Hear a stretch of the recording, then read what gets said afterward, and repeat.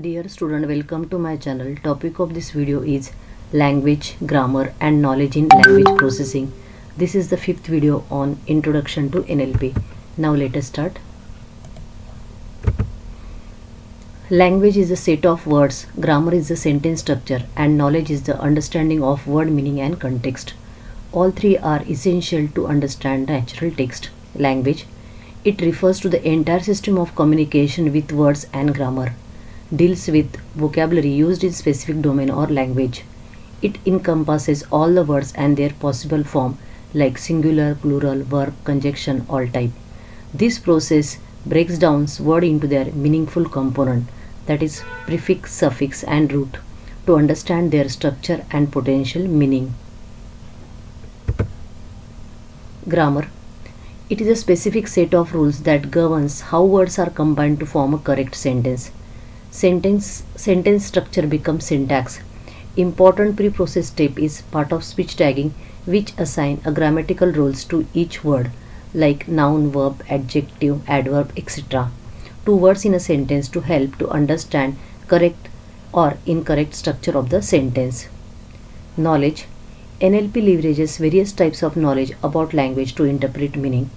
This include understanding word structure that is morphology meaning semantics and how language is used in context that is nothing but pragmatics. This knowledge helps NLP to go beyond grammar to grasp the complete structure. Semantic focuses on the meaning of individual words and how they combine to form a sentence meaning. Pragmatics goes beyond literal meaning and considering the context and how language is used to achieve the specific goals like for example sarcasm, humor, etc. So for pragmatics and discourse analysis, we require lot of knowledge base to understand the meaning of the context. The knowledge regarding the various linguistic structure can be separated into following categories. Phonology, how words are related to the sounds that realize them.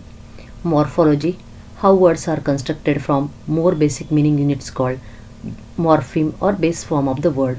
Syntax, how words can be put together to form a correct sentence and determines what structural role each word plays in the sentence and what are the phrases are subpart of other phrases that is nothing but chunk. Semantics what word mean and how this meaning combine in sentence to form a sentence meaning.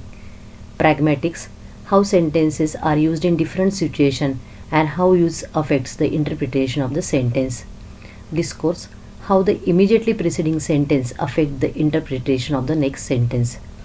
Word knowledge it includes general knowledge about the word for a particular application. So this is all about the language, grammar and the knowledge for NLP. Thank you.